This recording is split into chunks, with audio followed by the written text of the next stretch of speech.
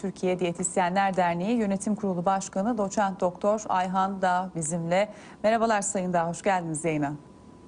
Hoş buldum. Çok teşekkür ediyorum. Sağ olun. Biz teşekkür ediyoruz. Ee, Şimdi tabii malum soru Ramazan'da sağlıklı beslenme nasıl olmalı? İftar sofralarında e, ne olmalı ya da nelerden uzak durmalıyız? Buyurun.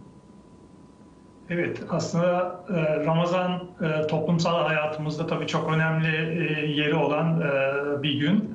Dolayısıyla vatandaşlarımız da oruç tutarak dini vecibelerini yerine getiriyor, getiriyorlar. Ancak bu süreçte biliyoruz ki tabii hem günlük yaşantıları hem de beslenme düzenlerinde büyük değişiklikler oluyor vatandaşlarımızın.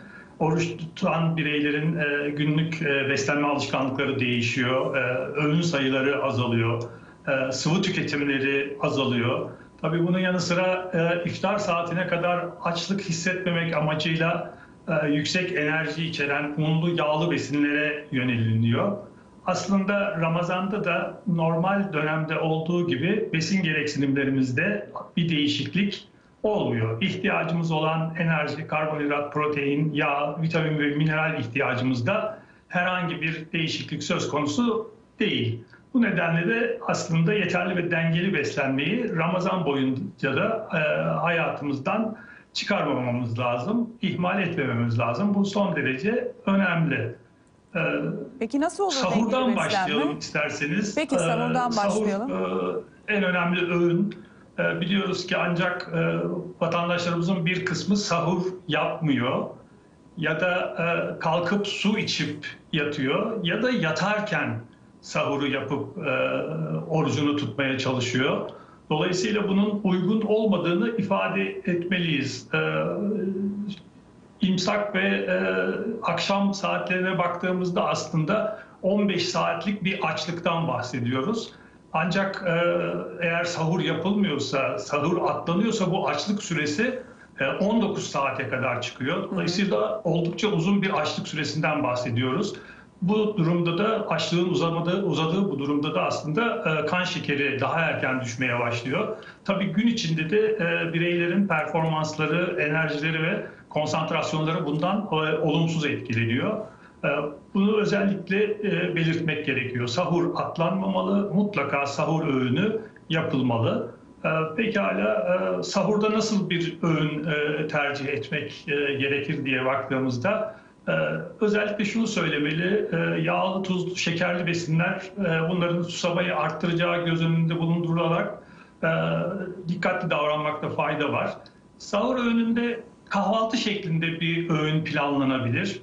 Az tuzlu peynir, zeytin, e, tok tutmaya e, özelliği olan haşlanmış yumurta, e, bir börek peynirli ya da patatesli ya da ıspanaklı bir börek, mevsim sebzeleri, mevsim yeşillikleri, domates, salatalık, ceviz, tam buğday unundan bir ekmek, böyle bir e, sahur öğünü yapılabilir. Peki. Ya da e, çorba, sebze yemeği yine bu menüye de bir börek dahil edilebilir.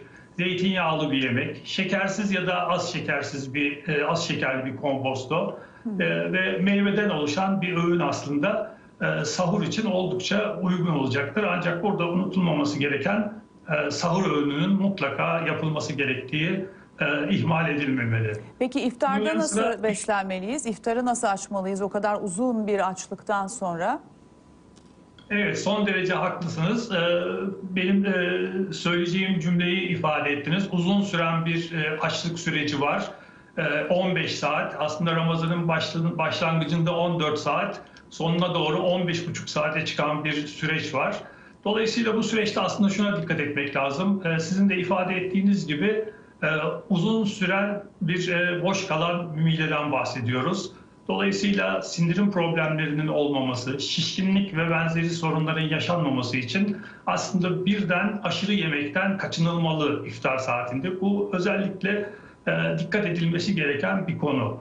E, bir anda aşırı yüklenmemek son derece önemli. E, iftariyeliklerle ve kahvaltılıklarla bir iftar açışı yapılabilir ya da bu bir çorbayla da yapılabilir.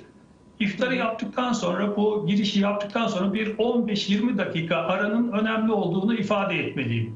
Bu 15-20 dakikalık aradan sonra da e, bizim e, sağlıklı pişirme yöntemleri dediğimiz e, haşlama olabilir, fırında olabilir, buğulama olabilir ya da tencere yemeği olarak adlandırdığımız şekilde pişirilmiş bir hafif et yemeği olabilir 15-20 dakikalık aradan sonra.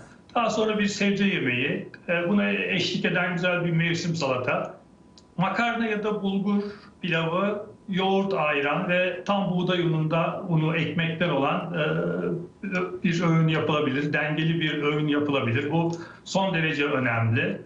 E, bunun yanı sıra iftardan bir buçuk saat sonra meyve, kuru, kuru yemişler, badem, ceviz, fındıkla bir ara öğün yapılabilir.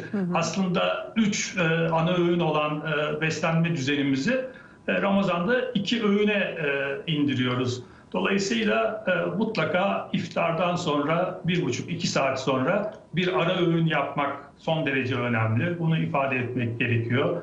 Sıvı tüketimi, su tüketimi son derece önemli. Evet. Uzun süren bir e, susuzluk sürecinden bahsediyoruz. Mutlaka iftar ve sahur arasında bir buçuk iki litre su tüketimini e, vatandaşlarımız zamana yayarak tüketmeleri son derece önemli. Biliyoruz ki susuzluğa bağlı olarak baş ağrısı, halsizlik, uyku hali, tansiyon düşüklüğü gibi sorunlarla karşılaşabilirler. Evet.